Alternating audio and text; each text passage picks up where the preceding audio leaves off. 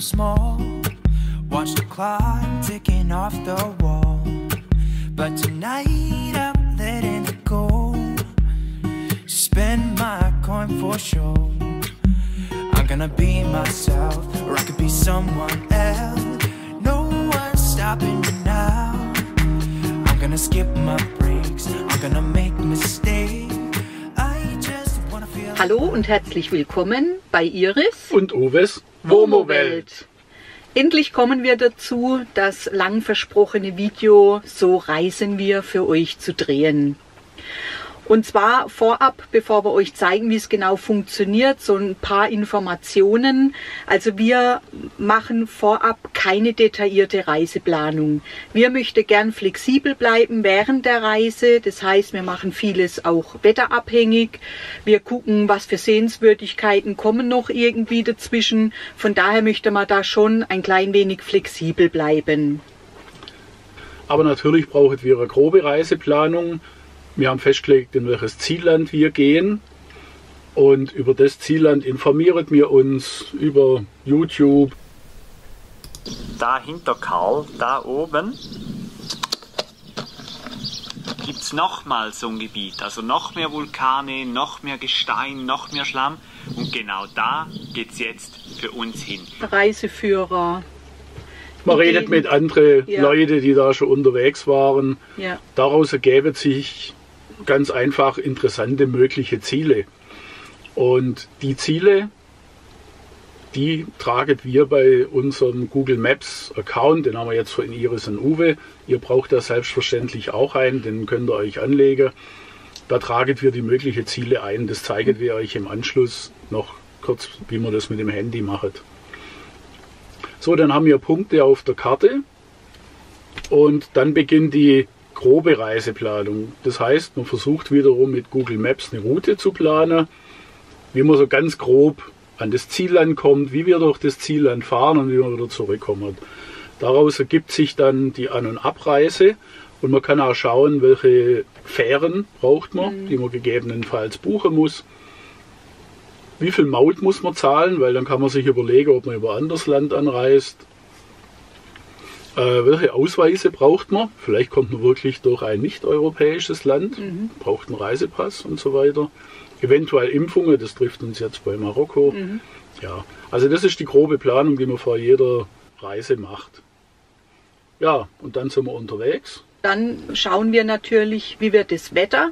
Das Allerwichtigste. Das Allerwichtigste, wie wir das Wetter jetzt auch so zwei, in den nächsten zwei, drei Tagen, damit wir da immer gucken können, passt es noch mit unserer groben Planung oder müssen wir komplett äh, abweichen. Wenn wir dann ähm, in Richtung dieses Ortes fahren, wo wir hin möchten, dann gucken wir natürlich auch gleich, was möchten wir uns ansehen, welche Sehenswürdigkeiten haben wir uns notiert. Ähm, auch die Tipps von euch nehmen wir da immer gerne dann noch zur Hand und ähm, gucken, dass wir das noch irgendwie berücksichtigen können. Dann ähm, schauen wir über unsere App Komoot. Die nehmen wir sehr gerne, ähm, ob wir eine Wanderung machen können dort. Zeigen wir euch auch. Und ähm, ja klar, und dann das Wichtigste, wo übernachten wir? Und das machen wir dann mit unserer App Park for Night. Ja, und so wird jeder Tag neu geplant. Wetter anschauen, übernachten. Und zwischendurch schaue ich dann immer wieder, damit man einen groben Überblick hat, wo sind wir, wie viel, was liegt noch vor uns und wann müssen wir langsam auch an die Rückreise Ja. denken. Weil wir sind jetzt, wir möchten das Land komplett bereisen. Wir möchten euch natürlich auch viel über das Land zeigen. Uns macht Spaß, viel unterwegs zu sein. Die Reiseplanung wird viel einfacher, wenn ihr drei Wochen an einem Strand steht. ja, also wir lassen uns gern Ja, treiben. und ähm, ja, es ist auch so, viele denken, das ist vielleicht auch zu schnell oder das ist zu stressig. Das mag natürlich sein, dass das, äh, die, das, die Art des Reisens, die, so wie wir das machen, für manch einen äh, stressig ist. Für uns ist es nicht stressig, uns macht es Spaß. Wir möchten so viel wie möglich vom Land und Leute kennenlernen. Aber wenn man das anders machen möchte, kein Problem, dann plant man das einfach ein bisschen anders. Ja, und bevor es dann losgeht, wenn alle Informationen zusammen sind, Das zeigen wir euch nachher noch am Handy sowie auch am Rechner, wie die Reiseplanung stattfindet. Mhm. Kurz bevor es losgeht, dann werden noch unsere Apps abgedatet. Ich blende die hier mal ein. Es ist wichtig, dass man Offline-Karte dabei hat, je nachdem, wie das Internet im Ausland ist. Meistens immer besser wie in Deutschland. also wir verwenden zum Beispiel Pocket Earth. Gibt es leider nur am iPhone, aber bei Android findet ihr auch so Apps. Mhm. Einfach OpenStreetMap. Sehr detaillierte Karten, jeder Wanderweg ist da mhm. drin. Hier mal der Vergleich mit Google Maps, da seht ihr vielleicht nur ein, zwei Wanderwege. OpenStreetMap ist sehr präzise. Das verwendet wir, wenn wir zu Fuß unterwegs sind. Ja. Dann Sidechick. Sidechick habe ich mir mal rausgesucht als Offline-Navigation mit dem Auto zu fahren, dass man Offline-Karte laden kann. Könnt ihr nehmen, was ihr wollt. Früher haben wir Navigon gehabt. Das wird jetzt leider nicht mehr updated. Dann natürlich unser heiß geliebtes Komoot. Mhm. Und da kann man überall Offline-Karte sich vorher runterladen, dass man vor Ort da kein Problem hat, dass man sich eine Wanderung planen kann auch. Dass mhm. man da eventuell die Daten mal nicht hat. Mhm. Hier jetzt mal ein kurzes Beispiel. Angenommen, wir würdet hier jetzt mhm. im Wohnmobil sitzen, YouTube schauen. Wir haben uns vorgenommen, wir möchten eine kleine Europatournee machen durch die Hauptstädte. Das nehmen wir jetzt mal als Beispiel. Beispiel ja. mhm. Und wir sehen, es soll Paris soll schön sein. In dem Fall nehmen wir hier unsere Google Maps Karte. Ja, und dann geht's los. Ihr seht hier oben anhand von dem kleinen Logo, das ist unser Iris und Uwe Account. Ihr müsst euch da selber einen anlegen, wenn ihr keinen habt. Das ist aber kein Problem, einen Gmail-Account zu kriegen. Und dann geht's los. Dann gebe ich hier ein Paris und da unten gibt es die Möglichkeit, das zu speichern.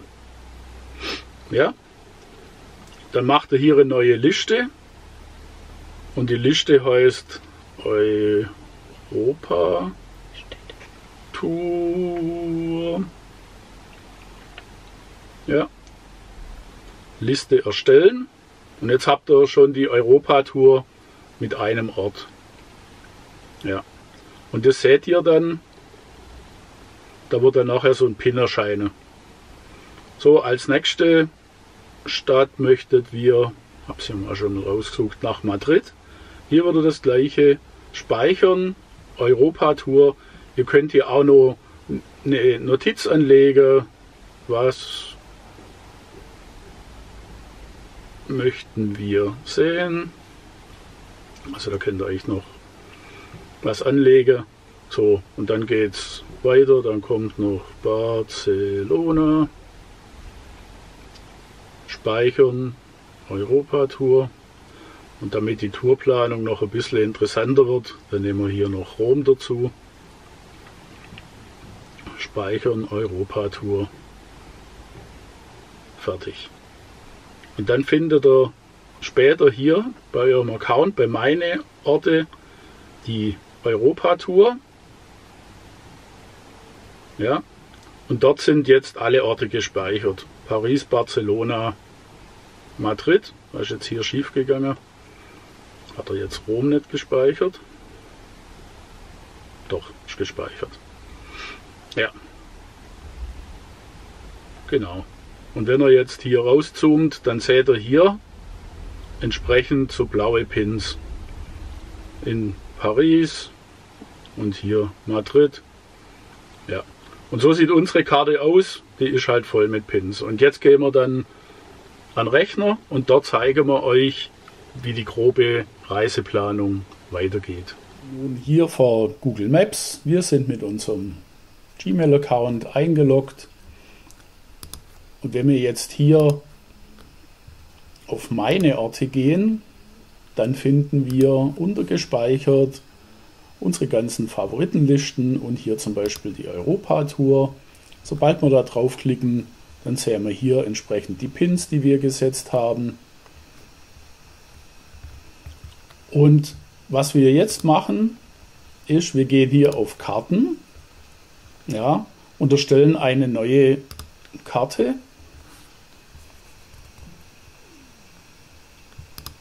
Die Karte nennen wir Europa Tour. Und hier fügen wir jetzt eine Route in, hinzu. Die Ebene brauchen wir nicht mehr, die können wir jetzt löschen.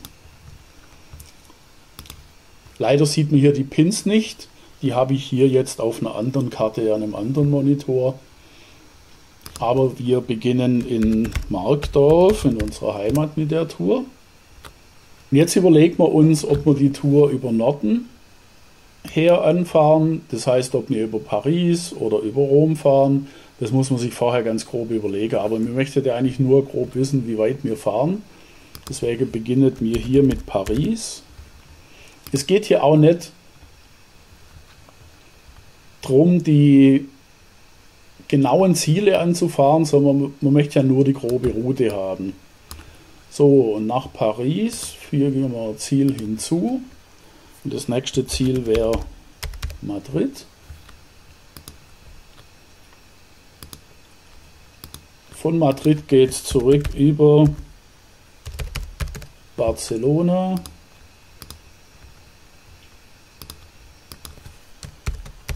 Über Rom. Wieder in die Heimat nach Markdorf.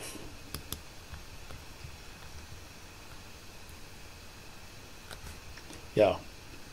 Und so haben wir jetzt eine grobe Übersicht über die Route.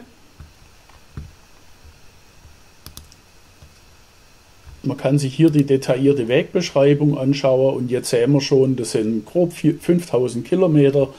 Die Reisezeit ist jetzt hier nicht so relevant, aber so planen wir unsere grobe Route. Jetzt möchten wir euch noch mal kurz zeigen, wie das zum Beispiel für Rumänien aussah. Wir haben hier unsere ganzen Punkte von Rumänien. Und da war einfach dann der Plan, dass wir, wenn wir über Ungarn anreisen, hier gern im Norden beginnen möchtet, Maramurisch, dass wir hier dann runterfahren Richtung Donaudelta und vom Donaudelta hier wieder zurück nach Transsilvanien beziehungsweise Siebenbürgen, weil hier doch die meisten Sehenswürdigkeiten sind. Die Planung sah dann so aus, wenn man sich die Karte anschaut, Rumänien 2019 Planung. So, die Planung war natürlich, dass man hier von Heppach über Wien und Ungarn hier direkt, das hier war der erste Punkt, den wir anfahren wollten und da haben wir einfach mal einen Ort in Maramuresch genommen. Und hier seht ihr jetzt die entsprechenden Punkte, die wir anfahren wollten in der Reihenfolge, wie es bei der Tour Sinn macht. Irgendwann hat man hier keine Möglichkeit mehr, mehrere Punkte aufzunehmen in der Route. Dann muss man hier einfach eine neue Route aufmachen. Und von dort geht es dann einfach äh, weiter. Ja, und so haben wir die komplette Route und kann sich hier mal eine grobe Planung vornehmen. Jetzt habt ihr die grobe Reiseplanung gesehen und jetzt zeigen wir euch mal anhand eines Videos von Norwegen, wie so eine Tagestour bei uns abläuft. Also wie wir den Tag planen äh, mit Komoot und wie wir einen Stellplatz suchen mit Park for Night. Los geht's. Hallo, wir möchten euch heute gerne mal noch zeigen, wie wir das machen, dass wir unser nächstes Ziel suchen ähm, und auch eine Übernachtungsmöglichkeit. Und dazu öffnen wir unser Komoot-App und dann äh, gucken wir, dann gehen wir hier auf Touren und unser Favorit ist natürlich das Wandern. Das kann man hier auch eingeben. Das ist jetzt hier schon voreingegeben, Wandern und auch im Umkreis von wie viel Kilometer. Und mir sage hier 10 Kilometer. Dann gibt es hier mehrere Möglichkeiten, wäre da angezeigt. Hier die erste Möglichkeit, das sind 11 Kilometer, das ist vielleicht ein bisschen viel. Und die zweite Möglichkeit wäre hier 6 Kilometer und das führt auch zum Strand Kalawiken. Den Strand Kalawiken, den haben wir schon in YouTube äh, öfters gesehen und es wird uns auch wirklich interessieren, würde man auch gerne Wanderung über, äh, unternehmen. Jetzt entscheiden wir uns hier für diese Wanderung von 6 Kilometer. Da klicken wir dann drauf und dann sieht man hier, okay, das ist jetzt eine schwere Runde. Und hier könnt ihr sehen,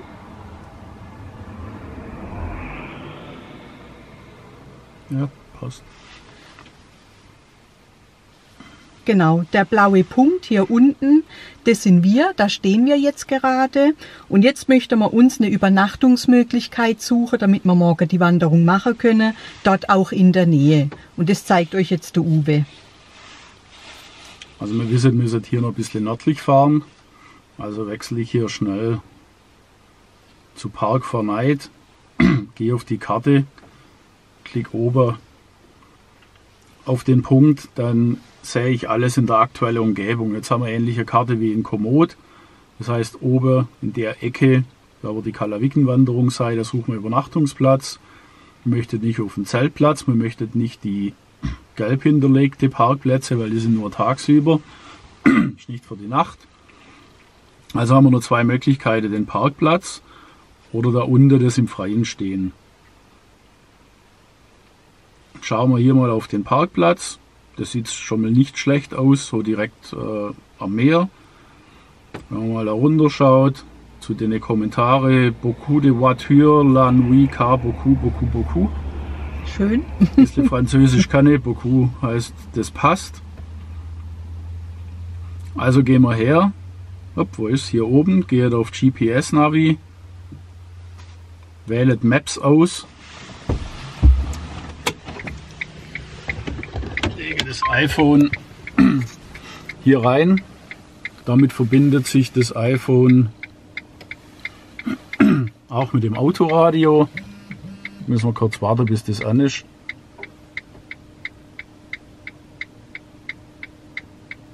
Dann haben wir hier das Apple CarPlay, das ist jetzt verbunden. Dann sage ich los. Route wird gestartet. Ziel, Hoft an Wien. Weiter Richtung Nordwest auf E E10. So, und jetzt haben wir innerhalb kürzester Zeit geplant, was wir morgen wandern möchten. Wir haben einen Übernachtungsplatz in der Nähe gefunden mit Park Verneid. Und jetzt geht's los. Und wir fahren dahin und schauen uns da um. Wenn es uns nicht gefällt, haben wir gesehen, gibt es eine Auswahlmöglichkeit mit so einem freistehenden Platz. Nun wisst ihr also, wie unsere Reiseplanung so aussieht, wie wir auch im Urlaub unterwegs sind. Also alles nicht so spektakulär. Daher unser Fazit. Macht euch keinen allzu großen Kopf. Ja, Ja, richtet euch so ein bisschen nach Lust, Laune, Wetter. Wetter. Also all diese Dinge, manchmal fühlt man sich nicht so gut, dann möchte man einen Tag länger stehen bleiben, alles gar kein Problem. Ja, wichtig ist natürlich, ihr plant jeden Tag neu. Ihr könnt in eine ganz andere Richtung fahren. Einer sollte die grobe Routenplanung im Kopf behalten. Wenn ich jetzt zum Beispiel an Schottland-Irland denke, ihr müsst irgendwann von der Insel wieder runter. Ja. Und dazu braucht ihr Fähre und die müsst ihr buchen und ihr müsst an dem Platz sein. Die Zeit muss man unbedingt einplanen Ja. dann, ja. Also oft ist man hier auch gebunden. Ja, Aber wenn jetzt irgendwo, so ist uns passiert, der Norweger auf dem Campingplatz steht und der Camper nebendran sagt, die Atlantikstraße müsst ihr unbedingt anschauen. Ihr guckt auf euer Handy, so ging es uns wirklich und haben gesagt, wow, gar nicht weit weg. Also wird es eingeplant. Dann fällt natürlich irgendwas anderes dafür was weg. anderes dafür weg. Genau. Wir haben ja Elfi und Uwe so kennengelernt. Die wollten Genau. nach Frankreich, haben unsere Videos gesehen und sind nach Rumänien gefahren. Und die haben eine ähnliche Reiseplanung und das funktioniert. Also versucht nicht, bitte nicht unsere Touren eins zu eins nachzufahren. Da könnte sein, dass ihr da eventuell enttäuscht seid.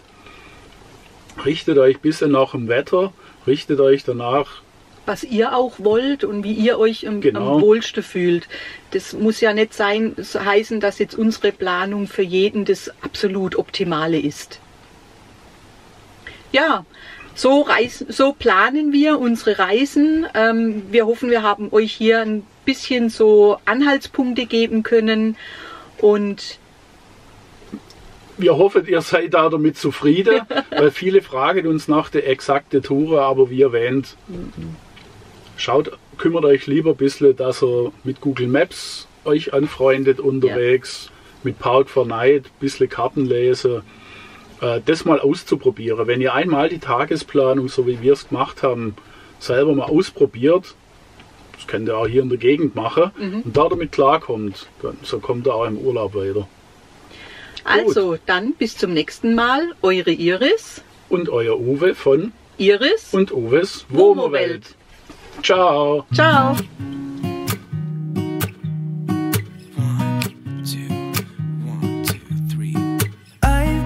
feeling so small. Watch the clock ticking off the wall. But tonight go. Spend my coin for sure. I'm gonna be myself.